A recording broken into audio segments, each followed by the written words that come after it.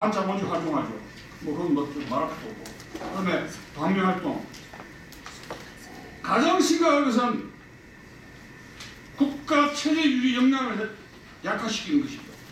군사력 한미 합동 군대를 갖다가 상비군에서 뭐 자꾸 어? 24개월에서 10개월 해가지고 나중에 뭐 나중에 용병이라든가 여러분 저 월급 주는 뭐 용병으로 이제 이거, 이거 프로 여러분들 프로 야구 보니까 피자들 보니까 이름도 알수 없어요. 전부 다 외국 사람들이요. 뭐 외국에 온 느낌입니다. 뭐 저 스포츠 이제 군대도 용병으로 이제 와야죠. 돈 있습니까 그러면? 네. 군사력 폐기 및 약화를 서슴지 않고 특히 기무사 국정원들 없애라 해체시켜라 그럼 간첩 잡지 마라 거예요. 간첩 잡지 마라. 근데 그런 사람들 또 시작되고 있죠. 국가법을 해체하는 사람이 시작이 됐지 않습니까? 왜? 무상 시민 주주니까. 그러니까 겁니다. 그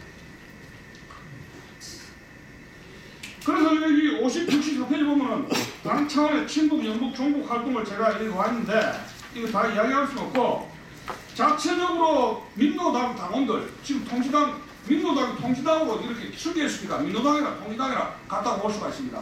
간첩으로 활동하거나 또 구속되면은 그 저 간첩들 행위자들을 어 기호하고 감옥에서 나오면 연구소 소장, 부소장이나 이론가로 계속 예, 해주고 개별적으로 또 이 간첩 활동을 어, 하고 그 당 차원에서 간첩 활동 및 정보 활동에 대해 당 차원을 비호해준 예, 한, 한두 명이 아니라 제가 이렇게 다 이야기할 수는 없습니다. 65페이지에서 68페이지에 계속 어, 막 이렇게 나오고 너무나 많은 이야기들이 나오고 간첩만 잡았다 하면 아이라 그래요.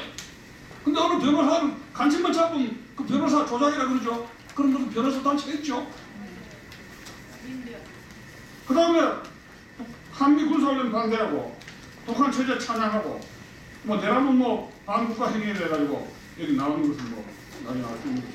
그래서 이 그러면 제가 저이 70페이지 보면은 이석기 내라는거 사건 재판 이후 통신당 활동 요게 좀 그거 한 것인데 지금 일단 그 이 통진당의 북한 추종 활동이 이 언더로 들어가 버립니다. 왜? 이 재판에 이석기가 이거 세번호 차버리니까 이거 안 되겠다 싶으니까 일체 그건 안 하고 애국화도 부른다 안 부른다 지금 내부에 내부에 좀 분란이 있는가 봐요. 예.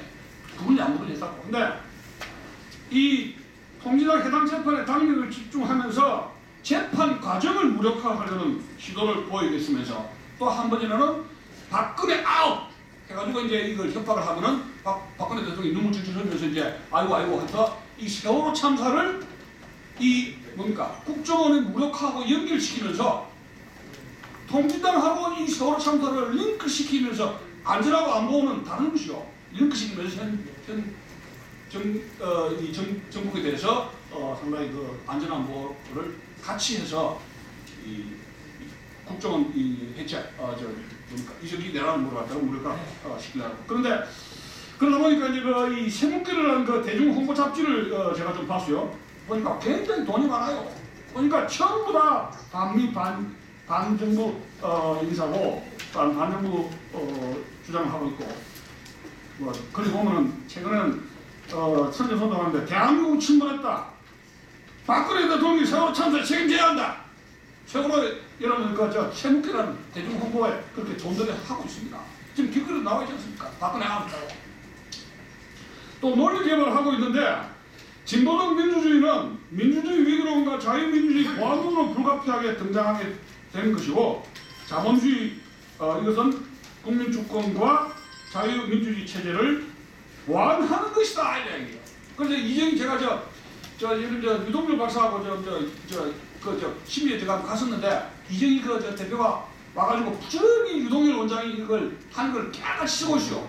근데 5분, 10분을 갖다가 기자들이 막 프라시 막 터뜨리고 있습니다. 우리한테 보지 않고. 그러니까 이 레프트 히로가 되었어요, 이정희 씨가. 근데 언론이 또 그런 사람을 영웅 키우죠. 근데 그걸 깨끗이 써가지고 논리 개발한다는 게 아니에요. 유 원장이 이래저래 하니까 진보적 민주주의는 자유민주 체제에 반한다 하니까 이거는 반하는 게 아니다. 이거 해가지고 지금 그 논리 개발을 부지런히 하면서 계속 쓰고 있어요. 저 거기서 봤어요. 그 재판장에서.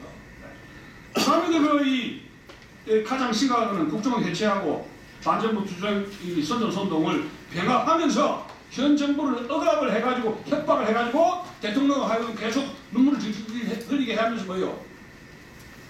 이새끼 내라는 거는 농담이었다. 이 이새끼가 농담이었다 쳤습니까? 그렇게 만들려고 이제 지금 그 길거리 지금 투쟁에 나서고 있습니다. 그래서 결론적으로 에, 말씀드린다면 그러면 우리 사회에 왜 이런 불순한 정치 세력이 등장하게 되었는가? 그거만 좀 말씀을 드리겠습니다. 그건 뭐냐면 80년대, 90년대에 우리 국- 국민들은 민주화하는 것이 소원이었습니다. 민주화. 그래서 북한에서 그렇습니다. 모든 공권력에 저항하는 세력은 민주화의 타이틀을 써라. 그걸 썼습니다. 그리고 20년 동안에 결국은 재미를 봤습니다. 그래서 민주화 세력인지 종북 세력인지 이 분간을 못할 정도로 이렇게 혼란이 오게 되었다 하는 것을 말씀을 드리는 것입니다. 그래서 독일의 그 바이마르 공화국이 1차 세계대전 이후 유럽에서 가장 민주적 헌법을 자랑했는데 자신의 체제를 깔아먹는 나치 정당이나 또는 공산당 같은 극우 국자 정당에게 과도하게 정치적 자유를 포용해가지고 그들이 사회적 혼란을 일으키면서 결국은 에, 체제 붕괴로 이어진 역사적 기원을 망각해서는 안 될 것입니다. 지금 6월 10일, 6월 4일 지방선거도 마쳤으니까 헌법재판소에 시대적 소명이 찬 결단, 즉 공진당 해산을 다시 한번 촉구합니다. 감사합니다.